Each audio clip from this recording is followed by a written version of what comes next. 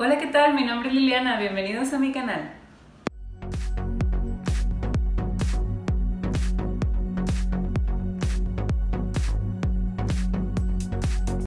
El día de hoy les voy a presentar mi nuevo celular de la marca de Xiaomi. Es un Redmi Note 9.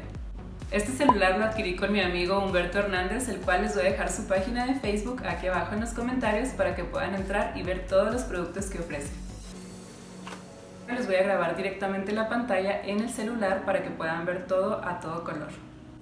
Vamos a prenderlo y trae pila. Estuve leyendo que la pila es de larga duración por lo que nos dura más días con un uso normal. Ok, aquí como pueden ver dice que tiene 24% de batería y dice que tiene un estimado de 10 horas 26 minutos restantes con solamente 24% de batería. Y si las matemáticas no fallan, quiere decir que con el 100% de batería duraría aproximadamente 40 horas. Este celular cuenta con espacios para dos chips y tarjeta de memoria expandible. Una de las cosas que me pareció súper interesante de mi Redmi Note 9 es que tiene una cámara trasera de 48 megapíxeles y una cámara delantera de 13 megapíxeles. Estuve viendo las características de mi celular actual y tiene solamente una cámara de 12 megapíxeles, ¿Pueden imaginarse la diferencia? Pues vamos a ponerla a prueba. Del lado izquierdo vemos una foto tomada con mi iPhone 6S Plus y del lado derecho una foto tomada con la cámara trasera del Redmi Note 9. Sí puedo notar una diferencia en cuanto a nitidez y claridad de la imagen. Me gusta mucho cómo se ve la foto tomada con el Redmi Note 9. Ahora vemos una foto de noche. Siento que ambas fotos son buenas, la verdad, pero el Redmi Note 9 quiere como aclarar un poquito la imagen. El cielo como que se me figura que se distorsiona un poco, pero en sí la imagen me parece mejor, así con más luz del lado derecho.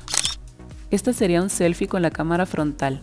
Ambas fotos me parecen de muy buena calidad, sin embargo, siento que la del lado derecho tiene mejor color y resolución. Pudiéramos usar un filtro para darle este acabado a nuestra foto del lado izquierdo, pero me gusta que Naturalmente esta foto salga de esta manera del lado derecho. Ahora vemos un video tomado con la cámara trasera y sí siento que del lado derecho que es el Redmi Note 9 tiene mucha más claridad y definición en la imagen.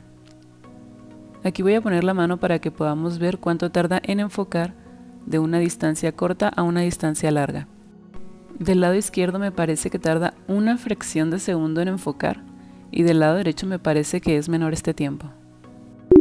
Ahora vemos la misma imagen pero de noche, de igual manera que con la fotografía siento que del lado izquierdo se ve un poco más oscura la imagen y del lado derecho la quiere aclarar.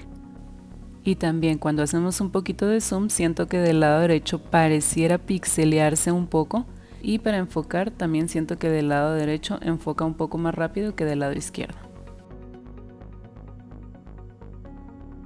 También me súper encantó la pantalla. Es una pantalla de un ancho de 6.53 pulgadas.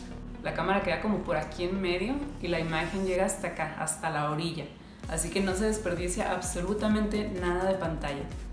Para ciertas personas pudiera parecer esto un poco inconveniente, ya que si bien no alcanzamos con una sola mano a manipularlo hasta acá arriba, pero podemos configurar para que cuando nosotros presionemos este botón se haga la pantalla más chica del lado izquierdo o del lado derecho como sea nuestra preferencia. Entonces, este no es un problema. Esta función me súper encantó, son las famosas pantallas duales. ¿Les ha pasado que muchas veces estamos viendo un video y queremos estar haciendo otra cosa y nos salimos de la pantalla y se corta el video? Pues con el Redmi Note 9 esto no va a pasar. Aquí les estoy mostrando cómo estoy abriendo dos pantallas a la vez Podemos mover la línea central para hacer una pantalla más grande o más chica que la otra.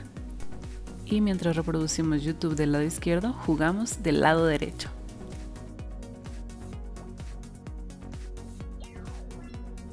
Bueno amigos, pues esto ha sido todo por el día de hoy. Espero que les haya gustado mucho este video y esta opción de celular ya que comparado con otros smartphones que nos ofrecen esta calidad de imagen en nuestras cámaras, por lo general son muy caros. Entonces los invito a que vean esta opción que es el Redmi Note 9 de Xiaomi. Nos vemos muy pronto en otro video. Ciao, ciao.